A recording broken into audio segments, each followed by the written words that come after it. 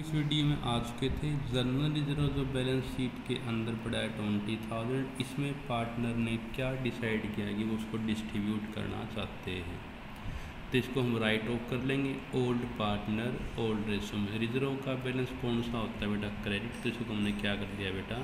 Debit और ये कैसे बांटा बेटा? ओल्ड पार्टनर ओल्ड रेसो और ये ओल्ड रेसो क्या थी बेटा? वन रेसो वन तो रिज़र्व ये ट्वेंटी थाउज़ेंड पार्टनर में डिस्ट्रीब्यूट कर दिया। अब ये बांट दिया तो हमारे पास नहीं रहा तो इसको नई बैलेंस शीट में शो नहीं करेंगे। क्लियर बेटा यहाँ पे? तब तो उनकी पार्टनर की बैलेंस शीट थी, इसके अंदर इन्होंने एसेट और लाइबिलिटी की वैल्यू दोबारा से रीवैल्यूड हुई है और नई वैल्यू ही बैलेंस शीट में दिखानी है, रिज़र्व हमने बांटना है। तो prepare revaluation account, partner capital account and balance sheet.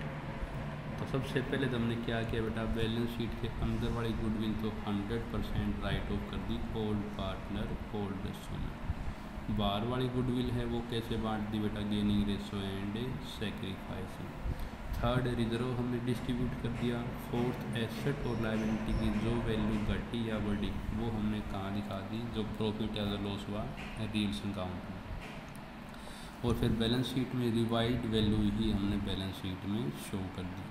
Reserve हमने क्यों नहीं दिखाया? क्योंकि वो हमने बांट लिया। बैलेंस शीट के अंदर वाली गुडविल भी राइट ऑफ़ कर दी तो वो भी नई बैलेंस शीट में नहीं दिखाएँगे।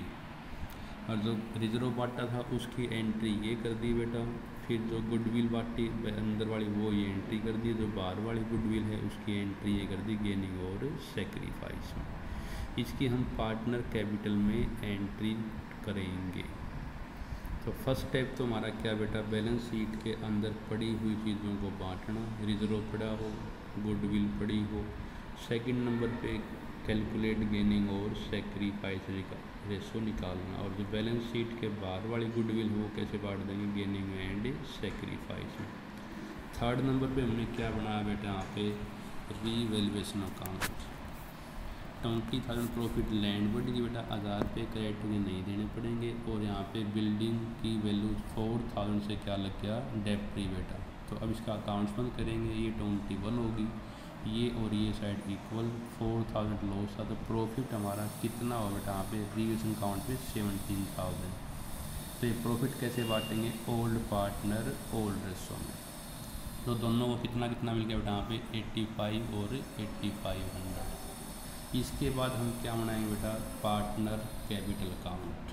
कैपिटल पहले ऑलरेडी बैलेंस शीट में पड़ी थी फिफ्टी थाउज़ेंड और फिफ्टी थाउज़ेंड वो उतार ली ये कहाँ पड़ी बेटा? बैलेंस शीट की लाइबिलिटी साइड इसके बाद जहाँ पर भी आपको ए और बी दिखाई दे पोस्टिंग कर दें। एक तो ये प्रॉफिट हुआ बेटा, इधर वाला इधर आ जाएगा। तो कितना कितना प्रॉफिट हुआ बेटा? एट्टी फाइव हंड्रेड और एट्टी फाइव हंड्रेड इसके बाद इसकी हम एंट्री कर देंगे। जो रिज़र्व बाटा है तो एंट्री क्या होगी? ए और बी में बाई जर्नल रिज़र्व तो यहाँ पे मैंने कर दिया बेटा बाई जर्नल रिज़र्व ऐसे ही जो गुडविल बाटी थी, उसका हम क्या करेंगे?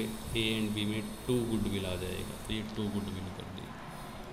फिर ये जो बाहर वाली गुडविल बाटी थी गेनिंग और सेक्रीफाइस में तो ये बी वाले काउंट में क्या करेंगे बेटा? बाई ए कर देंगे और ए वाले में क्या करेंगे? टू बी कैपिटल तो ये बाई ए कैपिटल और यहाँ पे टू बी कैपिटल अब ये अकाउंट्स बंद कर देंगे बेटा। इसकी ये साइड फालतू थी टोटल कर दिया।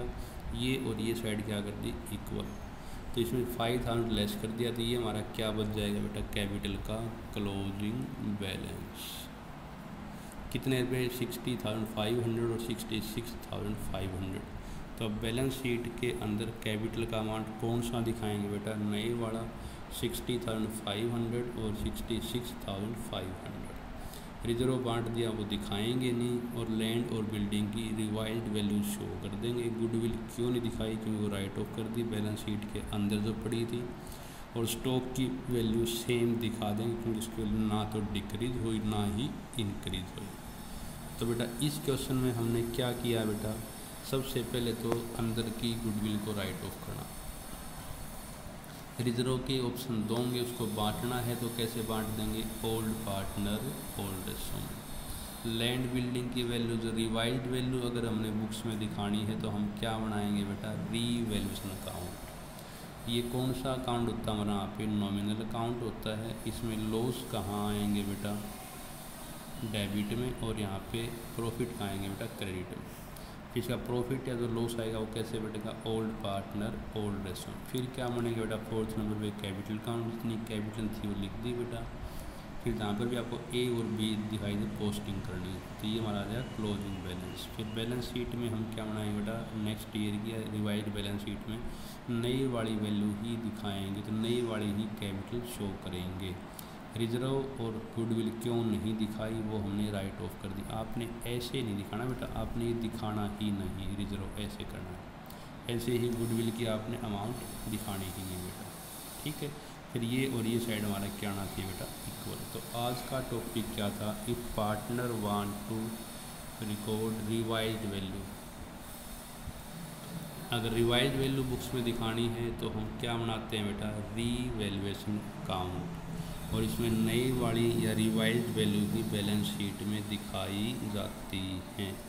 सेकंड ऑप्शन में इसमें क्या था बेटा? पार्टनर रिज़र्व को बांटना चाहते हैं। अगर उसको बांट देते हैं तो बटेगा ओल्ड पार्टनर ओल्ड डेसों में। अगर राइट ऑफ़ कर लिया तो फिर नई बैलेंस शीट में दिखाया नहीं जाएगा। तो इसमें फाइव स्टेप हैं। सबसे पहले बेटा बैलेंस शीट के अंदर पड़ी हुई गुडविल को राइट ऑफ़ करना। फिर गेनिंग एंड सेक्रीफाइज रेशो निकाल के गुडविल बार वाले उसको बांटना थर्ड नंबर पे रियलशन अकाउंट बनाना बेटा फोर्थ नंबर पे पार्टनर कैपिटल अकाउंट बनाना और फिफ्थ नंबर पे बैलेंस शीट नए वाली प्रिपेयर करना। थैंक यू बेटा।